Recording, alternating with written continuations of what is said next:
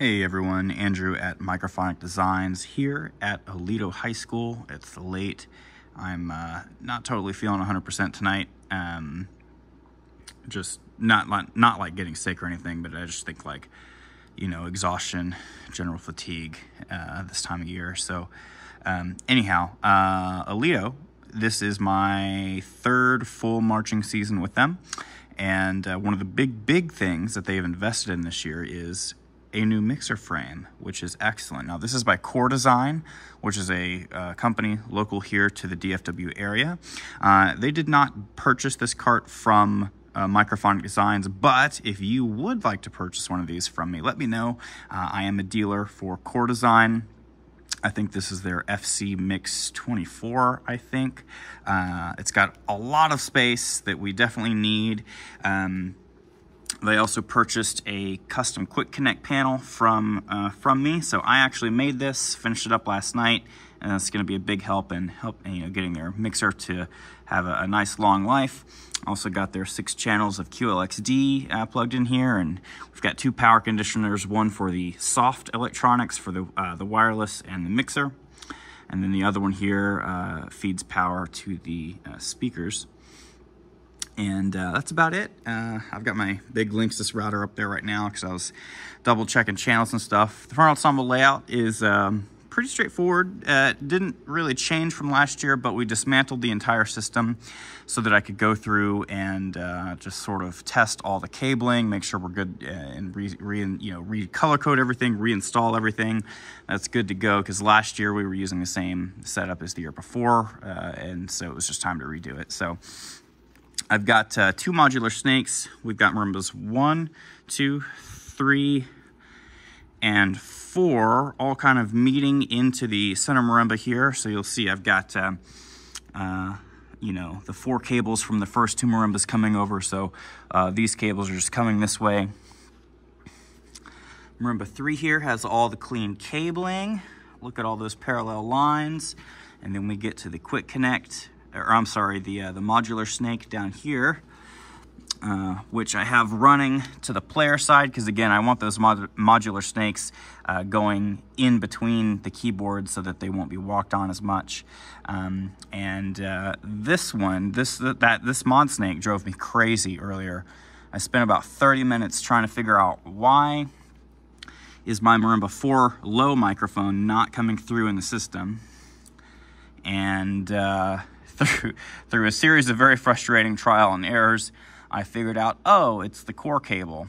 So we need to get some new core cables in here, which are the, the middle bits. So you've got the breakout cables that go on the instrument, and then you've got breakout cables that connect to the stage box, and then the, the middle piece is called the core cable. So let me go kind of show you what that looks like. And, and uh, before I do that, I'll just note that Marimba 5 here has two mics and a DTX that just jumps straight over. And this is kind of what I've got it looking like here. And the cables that are on the synth cart go straight into the DI box there. And then there's the, the mic cables right there. Uh, over on the synth cart, the synth cart's a little messy. We have uh, some upgrades coming this year that uh, I'm gonna handle the uh, cleaning of the synth cart once the, those upgrades come in. Uh, anyhow, uh, so yeah, we've got the modular snakes coming in here. They've got the DB25 panel, so I actually have another core cable on the back side of the panel going into the, um, the digital snakes here. I've also got one, two, three, four, red, white, blue, yellow. These are our sideline microphone inputs. We're gonna have four of them this year over here on side two. So I've got these, I've got cables that go from the back of these, which is right here, to right here these four. And then uh, these are the busted core cables right here. Again, channel 8 on both of these are not working. Um, so we'll need to get new ones. And so this is where the, the uh, core cable comes in and meets the mod snake, or the breakout cable.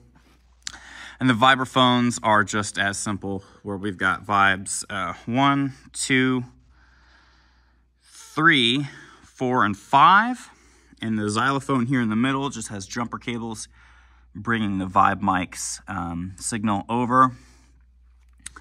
And so you'll see there, it just jumps right on over, comes into Vibe 3, And this is where I have the breakout cable for the back row vibes. And we're only using five channels back here. And so again, you'll see the cables coming across for vibes four and five just this way, right there. So real straightforward. It was a long day.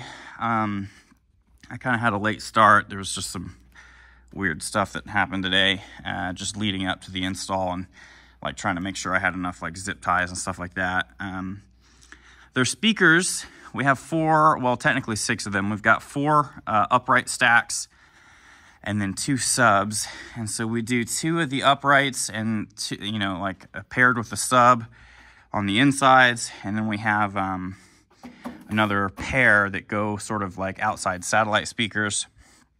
And um, I'm hoping at some point we can get them set up with some new speaker frames. These are just old and don't totally lend themselves to cable management very well, um, but we're making do. You know, it's all good.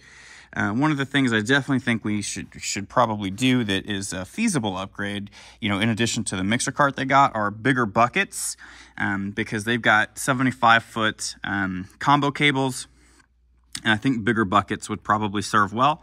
Um, but again, for now, this is what we've got, so we're going to do our best with it.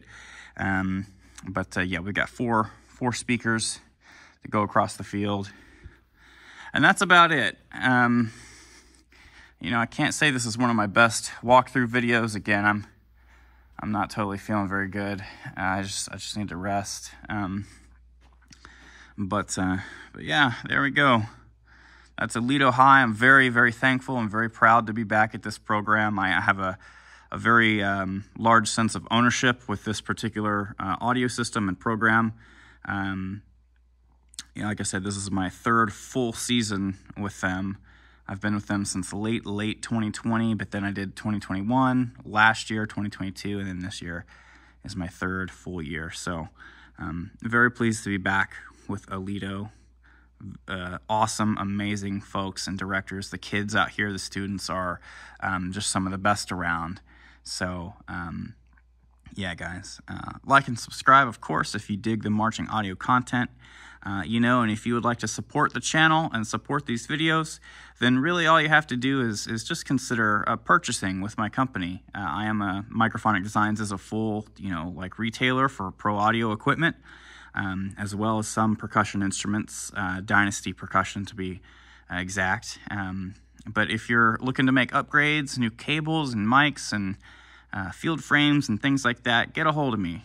That's that's the best way to, to support the channel. And of course, um, you know, let your director friends know that um, my company is the thing. I, I certainly appreciate that that support. So, uh, anyhow, y'all, take it easy, get some rest. I know this time of year is tough to get rest for those of us that do uh, marching band, um, but uh, you know, take take Sunday to get some sleep. That's what I need to do. Um, still got a couple more installs left for this year, but uh, soon we'll be into rehearsal season and I'll be missing the installations. so, all right, y'all, take it easy. Peace.